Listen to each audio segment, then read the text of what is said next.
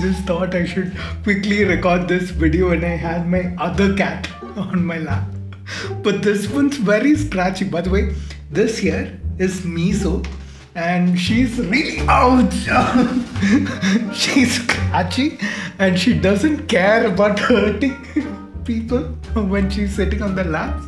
But that's her for you. That's Miso for you. Right, Miso? You don't care about hurting me, do you? What is up, people? Time for my daily grind. Um, this time we have a bunch of videos on how to lose belly fat. Let's watch the first one. Three spices that will melt fat in your body like that. Number one, curcumin, known to lower inflammation. Because all of us have high stress, cortisol stores fat. Curcumin lowers the stress in our body. Number two, Okay, let's talk about curcumin. I didn't know about this until I read a bunch of tweets from the liver doc. Apparently, curcumin, the active compound in turmeric. Turmeric should not be called curcumin. Uh, I think turmeric is only 5% curcumin. Its bioavailability, however, is only 1%, which means if you eat 100 grams of turmeric, only 1 gram of curcumin is absorbed in the body. So, uh, the amount of turmeric you need to eat to have any significant effect of curcumin in your body would be like you know the weight of an infant you can almost say that turmeric doesn't have any significant medical effect i'll talk about exactly what he's saying i'll talk about fat loss at the end let's see what else he's saying cinnamon contains cinnamaldehyde. Research has shown it burns up to 4 to 5% of abdominal fat. So it's great for burning those resistant love handles. And number three, capsicum from cayenne pepper is known to attack your TRPV1 receptor, which generates heat in the body, thus raising your metabolism, helping you burn more calories. So what are you waiting for? Get these three spices and spice up your I think uh, somewhere in between he mentioned that uh, you can use this to burn belly fat. He he also mentioned a lot of scientific terminology like you know this pepper uh, activates your some receptor he mentioned. I I think he's sprinkling a lot of science and sciencey sounding words to make his point sound more legit when he clearly doesn't know the basics of uh, fat loss anyone who is into fat loss, any dietitian, anyone who works out will tell you that you cannot spot reduce. That means you cannot reduce fat from a particular spot in your body. It may be belly fat, it may be uh, you know something in your chest or arms. You cannot spot reduce. So your body will uh, burn fat fat from any part of the body. Uh, it, it, doesn't matter to it if it's from the belly. So uh, the only way to lose belly fat is to lose overall fat and that requires being in continuous caloric deficit if you're in a caloric surplus you will put on weight if you're in a caloric deficit you will lose weight i've done this i've learned this from experience you can actually go to my instagram and scroll all the way down one of my pictures is a transformation pic where I lost a lot of weight. Basically, just think about have you ever seen someone with six pack abs who has fat on his arms, on his chest? No.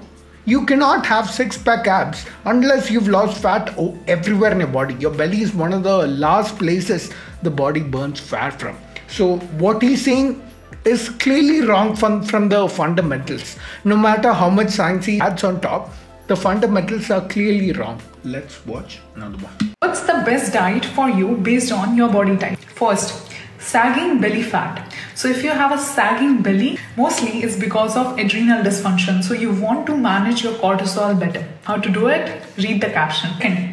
I think cortisol does play a role in uh, storing more fat, belly fat, but at the end of the day, you want to lose fat due to any reason be in a caloric deficit. She's gonna talk about uh, liver fat also, any kind of uh, visceral or uh, subcutaneous, uh, that means internal fat or external fat. You want to burn it, you just have to be in a caloric deficit. That's not very easy to do, but consistent caloric deficit will lose any kind of fat. She has lost a lot of weight loss. I've seen a page and she does have a lot of weight loss, but she's giving crappy advice.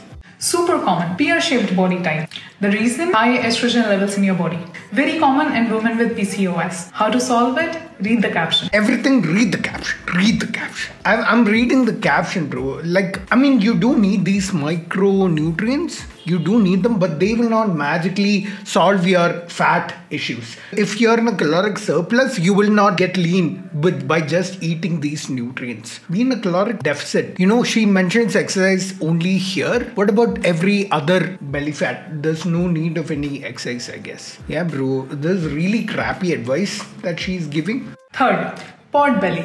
Super common in men or people consuming more alcohol. The cause? Liver dysfunction. To burn fat in this body type? Caption.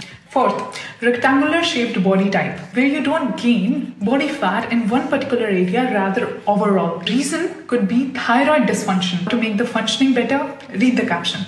Fifth, here you gain fat more on your upper body. Arms and shoulders will be thin, but you gain more fat in your upper body. This can be a sign that your pancreas are not working fine. Whatever is happening in your body, if you're not in a caloric deficit, nothing is gonna happen. You're not gonna lose weight. This complete absence of this one single idea caloric surplus or deficit. I'm very suspicious of anyone who doesn't mention caloric deficit and talks about fat loss. Okay, how do you usually start your day? With uh, ghee. Uh, I have a spoon of ghee. I start my day with that I have. I have ghee or, or coconut oil in the morning. Ghee coffee in the morning, which is That's ghee. Oh, um, I have to have ghee with every meal. चलो let's understand this celebrity's obsession with this morning ghee. Film stars की सारी nutritional advice पे तो हम believe नहीं कर सकते पर ये वाली तो मानने लायक है घी में ब्यूटिक एसिड पाया जाता है जो कि आपके डाइजेस्टिव सिस्टम को और स्ट्रॉन्ग बनाता है और मॉर्निंग में घी इंसुलिन सेंसिटिविटी को भी इम्प्रूव करता है डिटेल्स के लिए कैप्शन पर This insulin sensitivity is a fat loss terminology. Like people say, improve your insulin sensitivity and you will lose fat. But nothing mentioned about caloric deficit. You need a caloric deficit to lose fat. Being a caloric deficit. I'll do a main channel video about this. That's coming out soon. But um, yeah, just do a caloric deficit. Really crappy advice on fat loss. This is the last one that I'm watching.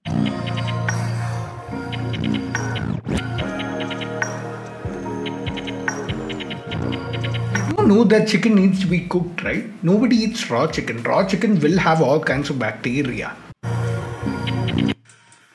Someone has even commented, lol, that's why you cook it. But he doesn't show that the sample from the chicken is what he's using on that glass slide. But okay, there's bacteria on the glass. But either way, dude, meat will have all kinds of microorganisms. You have to cook it before you eat it. Eat raw meat that is a little old, and you will get all kinds of bacteria in you.